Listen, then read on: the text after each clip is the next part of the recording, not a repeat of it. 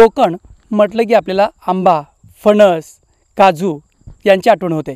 मात्र सोलापूर जिल्ह्यातील मोहोळ तालुक्यातील कुरुलच्या अगदी जवळ असलेल्या शेज बाबुळ गावामध्ये शशिकांत पुदे या एक नामवंत शेतकऱ्यांनी गेल्या आठ ते दहा वर्षापासून काजूचं अत्यंत चांगलं उत्पादन घेतलं आहे कोकणामध्ये जी काही सर्व फळं येतात ते शशिकांत पुदे अत्यंत उत्कृष्टपणे आपल्या शेतामध्ये घेत आहेत त्यामुळे आज एस न्यूज मराठीच्या माध्यमातून शशिकांत पुदे यांचे हे शेतीतले प्रयोग यांचे हे मातीतले प्रयोग यांचे हे नाविन्यपूर्ण प्रयोग सर्व दर्शकांना दाखवण्यासाठी आज आम्ही त्यांच्या शेतामध्ये आलो आहोत.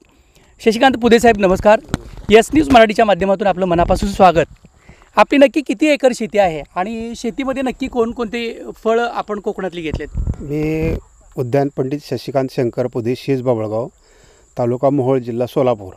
आमची शेज बाबळगाव येथे बारा एकर शेती आहे आणि त्या शेतीमध्ये मी नाविन्यपूर्ण बाबीचा सर्व प्रयोग कोकण आंबा हप काजू लिंबू पुन्हा इतर मसाला पिके सुपारी असे नारळ अशी विविध पिकांचा नाविन्यपूर्ण बाबीमध्ये समावेश करून मी माझ्या शेतावरती जे प्रयोग केले ते सगळे सेंद्रिय शेती गो आधारित सेंद्रिय शेती हे नाविन्यपूर्ण बाबीमध्ये केलेलं आहे.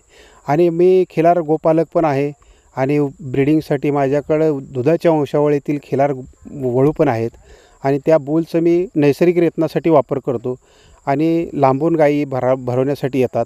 त्या गायींना मी चांगल्या पद्धतीनं नैसर्गिक रेतन करून पुढची व दुधाची वंशावळ तयार करण्यासाठी मी एक नाविन्यपूर्ण उपक्रम तो राबविला गेला आहे. मी माझ्या शेतावरती सुरुवातीला मोसंबीची बाग लाव लावली होती.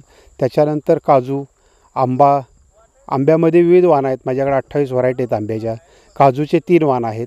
सीताफळामध्ये ललित एक नाविन्यपूर्ण आहे. पुन्हा सुपारी आहे.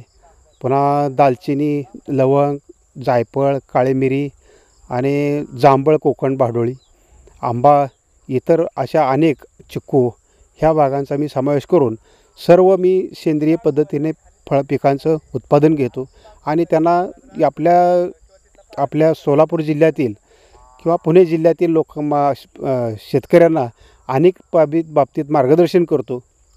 आणि जी मी सेंद्रिय पद्धतीने जी फळपिकं घेतलेली आहेत त्या पिकांचा मी नैसर्गिकरित्या सर्व शेतकऱ्यांना मार्गदर्शन करून आणि ज्या नाविन्यपूर्णमध्ये समावेश केलेले फळपिकं आहेत त्याचा पण मी व्यवस्थित मार्ग नैसर्गिक पद्धतीनेच पिकवण टिकवण क्षमता वाढावी.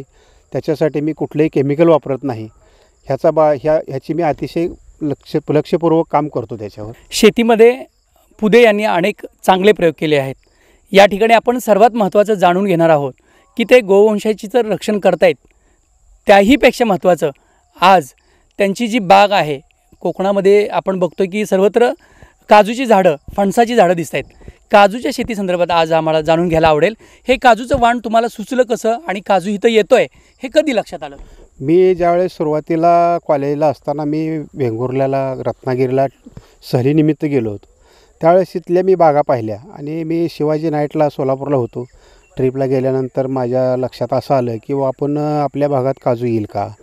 मग मी बऱ्याच लो शास्त्रज्ञांशी चर्चा केली आणि त्यांच्या मते काजू आपल्याकडे येत नाही. राहुल विद्यापीठामध्ये आपल्या दयानंद कॉलेजपाशी सप्रे साहेब म्हणून आहेत. त्यांनी मला एक काजूबद्दल माहिती अशी सांगितली की सुरुवातीला काजू बारामतीला लागण झाली होती शरद प्रतिष्ठानवर. आणि तिथं आप्पासाहेब पवारांनी सुरुवातीला लागण केलेले काजू होते तिथं फळे आले नाहीत ती बाग आम्ही काढून टाकली आणि त्या ठिकाणी चिकू आणि पेरू लावला. अशा पद्धतीने त्यांनी मला सांगितलं होतं. मी तरी पण मी माझ्या बुद्धीत मी बदल करायचा नाही. ह्या हेतूने आणि आपल्या भागात काजू सक्सेस करायचाच ह्या उद्देश मनामध्ये धरून मी वेंगुर्ल्यात काजूच्या बागा अनेक बघितल्या आणि तुम्ही हे कधी बाग लावली साधारणपणे? मी दोन हजार सहाला लागण केलेली आहे. आणि प्रत्यक्ष फळ कधी सुरू झालं माझं दोन हजार नऊला सुरू झालं फळ. तुमची जवळपास बारा एकर शेती आहे. यामधील काजू पिकाची शेती किती आहे? फळाची? पिकाची दीड एकर आहे आणि आंबा तीन एकर आहे. चिक्कू दीड एकर आहे आणि बाकीचे इतर ऊस सहा एकर आहे. आणि खि- गाई गोपालन असल्यामुळे गायींना वैरणीसाठी एक दोन एकर ठेवलेला आहे. काजूची शेती घेत असताना काजूच्या झाडाचं वैशिष्ट्य काय? किंवा त्याच्यावर रोगराई होती का? किंवा अतिवृष्टी आणि आपल्याकडे कमी पाऊस पडतो? याचा काय फटका या फळाला बसतो का? नाही तसं काही एवढं नाही पण ज्या ठिक ठिकाणी आपण काजूची लागवड करतो आहे ते ठिकाण शक्यतो निचऱ्याची जमीन असावी. आणि निचरा उत्तम होत असेल तर काजू पीक चांगल्या पद्धतीनं वाढ होते त्याची. आणि त्या पाहिजे त्या प्रमाणात फळां फळांची स उत्पादन मिळते. आणि तशा पद्धतीनं र जमीन जर असेल तरच काजू लागवड करावी. नाहीतर पाणथळ जमिनीत काजू लागवड करू नये. आपण गेली पंधरा वर्ष जवळपास काजूची शेती करताय आणि ती यशस्वी झाली. साधारणपणे तुमच्या अडीच एकरच्या या बागेमध्ये किती झाडं आहेत? त्याचं उत्पन्न किती येतं? आणि त्याचं मार्केटिंग कसं करता? माझ्याकडे एकशे साठ झाडं आहेत सध्या काजूची. त्यात मी थोडे लावले होते सुरुवातीला दोनशे सॉस दोनशे झाडं. त्यातली थोडी झाडं गेली ते बी क- पाणी जादा होऊन गेली.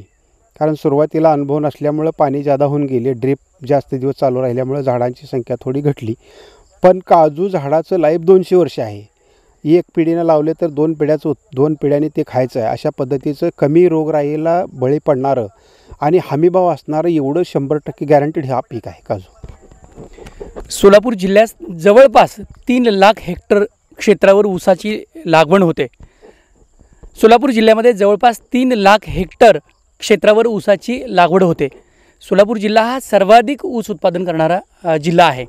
अशा परिस्थितीमध्ये आपण काजूची लागवड करताय ऊसाच्या कम्पॅरेटिव्ह केलं विचार करता ही शेती फायदेशीर आहे का? हो काजू उत्पादन काजूचं कसं ऊसाला जेवढा खर्च करावा लागतो त्याच्या पंचवीस टक्के फक्त काजूला खर्च आहे. आणि रोगराई तर अतिशय कमी आहे. टी मॉस्किटो एकच कीड आहे पण ती कोकणात जास्त आहे. आपल्या भागात अजून तिचा उपद्रव नाही.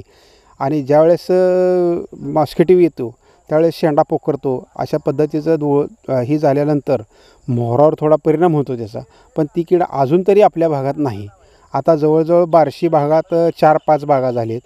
परत आमच्या औंडी गावात एक झालेली आहे. अजून इतर भागात पण लागणी चालू आहेत काजूच्या. पण सगळ्यापेक्षा कमी खर्चातलं पीक एक नंबर काजू. आणि रोग रोगराईला एकदम कमी बळी पडणारं पीक आहे. या काजूची शेती करत असताना आपल्या काय लक्षात आलं की काजूचं झाड साधारणपणे किती वर्षापर्यंत राहू शकतं? आणि एका काजूच्या झाडाचं उत्पन्न किती मिळू शकतं? किलो काजू काजूचं झाड हे बहुवार्षिक पीक आहे. आणि ते त्याच्या एका झाडापासून दहा किलो काजूगर भेटतो. आणि त्याचा भाव म्हणलं तर नऊशे रुपये किलोप्रमाणे मी मग स्वतः मार्केटिंग करतो. स्वतःच करताय? स्वतः मार्केटिंग करतो. सोलापूर जिल्ह्यातील शेतकऱ्यांनी नवनवीन प्रयोग करावेत. आता आपण बघतो की काजूचं अत्यंत चांगलं उत्पादन आपण घेतलं. तर ह्याची रोपं आपण अ, शेतकऱ्यांसाठी उपलब्ध करून दिलेत काय? आणि त्यांच्यासाठी काय मार्गदर्शन कराल का? हो थोडा नर्सरीचा विचार आहे. आणि मी दोन हजार बावीसपासून मी काजू कलमं आणि आंबा कलमाची विक्री करणार आहे. पण आता सध्या थोडी अडचण असल्यामुळे मी नर्सरी अजून उपलब्ध केली नाही पण माझ्याकडे नर्सरीत मी कलमं तयार करून विक्री करू शकतो. शेतकऱ्यांच्या मनात आलं तर काळ्या मातीतून सोनं देखील पिकवता येतं हेच शशिकांत पुदे यांनी दाखवून दिलं आहे कोकणामध्ये जी काही सर्व प्रकारची पिकं येतात ती त्यांनी त्यांच्या शेतामध्ये घेतलीत. त्यामुळंच यस न्यूज मराठीच्या माध्यमातून हा नवीन प्रयोग जिल्ह्यातील तमाम शेतकऱ्यांपर्यंत मांडण्याचा हा एक केलेला प्रयत्न. कॅमेरामन विजय आवटेसह मी शिवाजी सुरवसे यस न्यूज मराठी सोलापूर.